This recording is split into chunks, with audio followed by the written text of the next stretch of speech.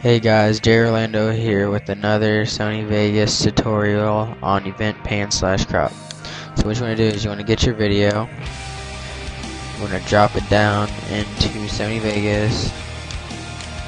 So you got this right here, and you're just gonna go through it and everything. And you see how like there's a bar on this side, like bar on this side, and the top's kind of cut out a little bit, and then the bottom, if you capture on a capture card, then there's like a little line right there where you can see everything.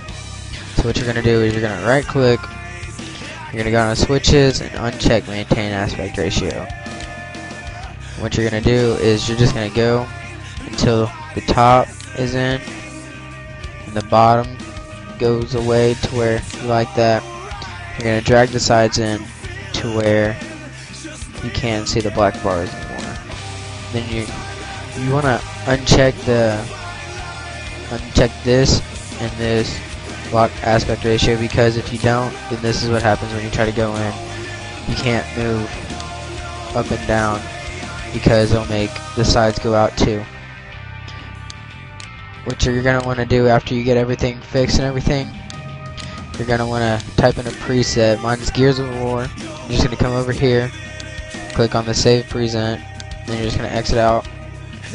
And see, there you go. That's uh, how you pan slash crop to make everything fit the screen so that there's no like black bars or anything on the bottom. Hope you all enjoyed. Comment, rate, subscribe. Peace out.